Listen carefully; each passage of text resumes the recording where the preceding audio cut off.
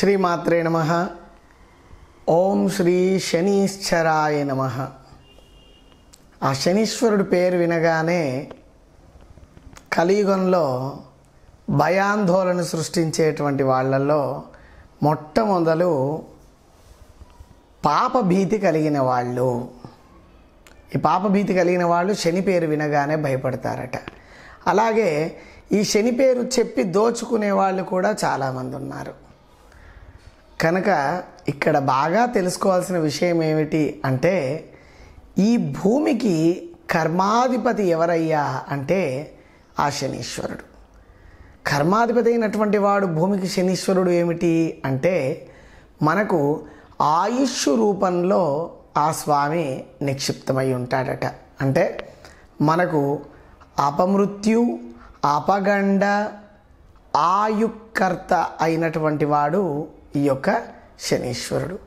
ఆయన యొక్క అనుగ్రహం గనక కలిగినట్లయితే మనము ఎటువంటి కర్మనైనా అనుభవించేటప్పుడు త్రుటిలో ఆ ఏముందిలేండి మామూలే అంటారట. అంటే ఒక కొంతమందిని చూస్తే చూడండి ఫ్యాన్ వేసుకోరు. బ్రహ్మాండంగా ఉక్కపోస్తూ ఉన్నా సరే ఏదో చిన్నగా చెమ్మలాగా వస్తుంది మొహం పైన.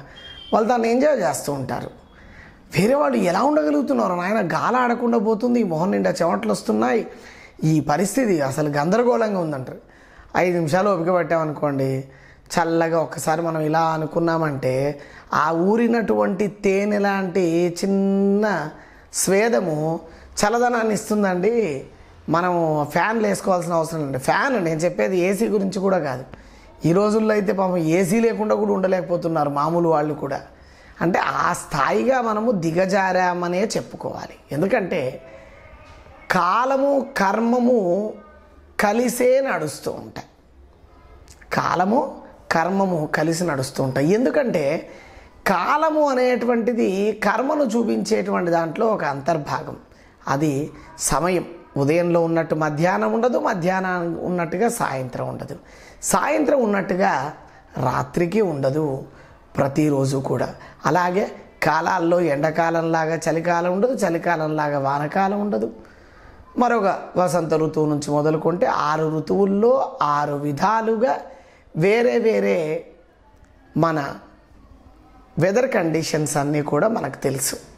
మరి ఇందులో ఎటువంటి వాటికి స్పృహ లేకుండా ఉండేవాడు ఎవరు అంటే శని అనుగ్రహం మెండుగా ఉన్నవాడికి ఏ కాలం కూడా వాడికి ఏమీ అవ్వదు. ప్రశాంతంగా ఉంటాడు. చలి పెడుతుంది. పర్వాలేదు అనుకుంటాడు. బాగా ఎండ కొడుతుంది. ఎండ కొడుతున్నప్పుడు నీడకు వస్తాడు అంతే. చలి పెడుతున్నప్పుడు ఒక మూలకు తుంగుంటాడు. అంతేగాని ఎండ కొడుతుంది కదా అని చెప్పేసి ఏసీలోకి వెళ్ళిపోవడము బాగా చలి పెడుతుంది కదా అని చెప్పి ఇంట్లో హీటర్లు పెట్టుకొని పడుకునేటువంటి వాళ్ళ సంఖ్య గణనీయంగా ఈ రోజుల్లో పెరిగిపోతుంది. దానివల్ల వాళ్ళు సున్నితమైనటువంటి హృదయంతో చిన్నదానికి కూడా. ఈ రోజుల్లో పిల్లల్ని కూడా చూడండి. ఏమనొద్దండి అని టీచర్లకు చెప్తాం. ఏమనకూడదని ట్యూషన్ టీచర్లకు చెప్తాం. అలాగే మనం కూడా ఏమి అనం. బయట జరిగే పరిణామాలలో వాడు తట్టుకోలేక ఆత్మహత్యలు చేసుకుంటూ ఉన్నారు. లేదా హార్ట్ ఫెయిల్ అయి చనిపోతున్నారు. ఇదంతా కారణం ఏమిటి? అంటే మనలో ఉండే సునిశితత్వము. ఆ సున్నితత్వాన్ని కొంచెం తగ్గించుకోవాలి. దీనికేం పూజలు ఉండవండి. సున్నితత్వాన్ని తగ్గించుకోవాలి. ఆ సున్నితత్వం తగ్గాలి అంటే మనం ఏం చేయాలంటే అతి ప్రేమలు చూపించకపోతే చాలు మన వాళ్ళ పట్ల.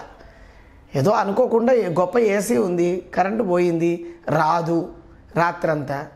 రోజు ఏసీ అలవాటు ఉన్నవాడు నిద్రపోవడం మానేస్తాడు. ఎందుకంటే వాడికి నిద్ర పట్టదు సుఖజ్ఞంలో పడిపోయాడు. అదే ఫ్యాన్తో మాత్రమే ఉండేవాడు ఏదో పక్కన వాళ్ళమ్మ చిన్న విసనకర్రతో అలా ఊపితే వాడు చక్కగా నిద్రపోతాడు. అంటే ఇక్కడ ఎంత సుఖమైనా సరే దానికేం కొలతలు లేవు. శరీరాన్ని ఎంత బద్ధకంగా తయారు చేస్తే అంత బద్ధకంగా తయారవుతుంది. ఇది గొప్పగా కూడా. దాందేమీ లేదు. ఇక్కడ జీవుడు ఎవరైతే నాయకుడిగా ఉన్నారో ఆయన ఇచ్చే కంఫర్ట్స్కి తగినట్టుగా ఆ శరీరము ఆ మనస్సు ఎప్పటికప్పుడు తయారవుతూ ఉంటుంది. కనుక మనం గుర్తుంచుకోవాల్సిన విషయం ఏమిటి అంటే శని కర్మాధిపతి అయి ఉన్నాడు గనక మరి ఈ కర్మను తొలగించుకోవాలంటే ఏదైనా చిన్న చిన్న మార్గాలు ఏవైనా ఉన్నాయా స్వామి? అంటే ముందుగా నల్లటి వస్త్రాలను ధరించేటువంటి మాల అయ్యప్ప మాల గురించి మనం చెప్తాం. అది అయ్యప్ప మాలలోనే కాదు.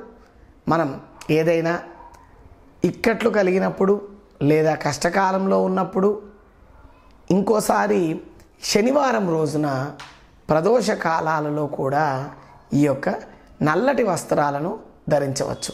ఏమంటే నల్లటి వస్త్రాలు వేసుకోకూడదు అంటారు కదా అని కొంతమంది అంటారు. నేను వేసుకున్నానుగా. నల్లటి వస్త్రాలు వేరే వాళ్ళ ద్వారా బహుమతిగా పొందకూడదు. అంతేగాని మీరు ధరించకూడదు అని ఎక్కడ రాసిలేదు నల్లటి వస్త్రాలు ధరించడం ద్వారా శనికి ప్రీతికరం అవుతాము మనలో కష్టాన్ని తట్టుకునే శక్తి మనలో పెరుగుతుంది. ఎటువంటి ఇబ్బందులు ఉన్నా సరే మానసిక సంక్షోభాలకు మనము గురవ్వకుండా కాపాడబడతాము. ఇంత విశేషం ఉంది నల్లటి వస్త్రాల్లో. కనుక నల్లటి వస్త్రాలను పేద సాధలైనటువంటి వాళ్ళు మీ ద్వారా దానం తీసుకునే వాళ్ళు ఎవరైనా ఉంటే వారికి ఇవ్వడం ద్వారా మనకు ఉండేటువంటి కర్మను వారికి కొంత భాగాన్ని అప్పజెప్పిన వాళ్ళం అవుతాం.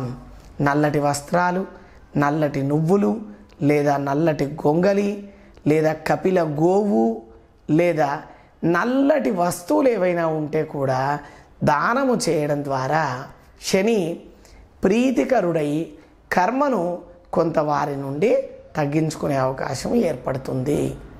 ఇదే కర్మ సిద్ధాంతాన్ని అనుసరించినటువంటి విషయం విశేషించి. కనుక ఇక్కడ ఎటువంటి శని సంబంధమైనటువంటి కర్మల్లో ఉంటే కూడా మీరు శనీశ్వరుడికి సంబంధించినటువంటి దాంట్లలో ఒక ఏడు శనివారాలను తప్పక ఉదయం శనివారం రోజున ఆరు నుంచి ఏడు గంటల మధ్యలో శనీశ్వరుడి యొక్క హోరా అనేటువంటిది ఉంటుంది. ఈ హోరా ప్రకరణను అనుసరించి మనము శని యొక్క అనుగ్రహత కలగడం కోసము ప్రతి నిత్యము లేవగానే ముందు ఓం శనీశ్చరాయ నమ అని నమస్కరించుకొని మిగిలినటువంటి శనివారాల్లో ఈశ్వర ప్రీతికరుడైనటువంటి ఈ యొక్క శనీశ్వరుడి దగ్గరికి వెళ్ళి యథాశక్తి ఇరవై ఒక్క ప్రదక్షిణాలు లేదా పదకొండు ఇంకా లేదు అంటే తొమ్మిది ప్రదక్షిణాలను పూర్తి చేసుకుని రాహుకేతువులకు ఎదురుగా మీరు నిలబడి యథాశక్తి ఆ స్వామిని నన్ను అనుగ్రహించు స్వామి అని వారి కలిగినటువంటి కష్టం నుండి కనుక విముక్తి పొందమని పొందదలిచాము అని కోరుకున్నట్లయితే వారికి కలిగిన ప్రతి కష్టము నుండి కూడా తప్పక వారు ఈడేరుతారు. ఇహలోకంలో ఉండే బహుప్రకరణములైనటువంటి పుణ్యఫలాల్ని వాళ్ళు పొందగలుగుతారు. కనుక ఈనాటి శనీశ్వరుణ్ణి తెలియక ఎవరైనా నిందించి ఉంటే అపరాధాన్ని క్షమించమని వేడుకుంటూ సాక్షాత్ ఖగవాహనుడైనటువంటి ఆ శనీశ్వరుడు మనందరినీ కూడా సంరక్షించుగాక.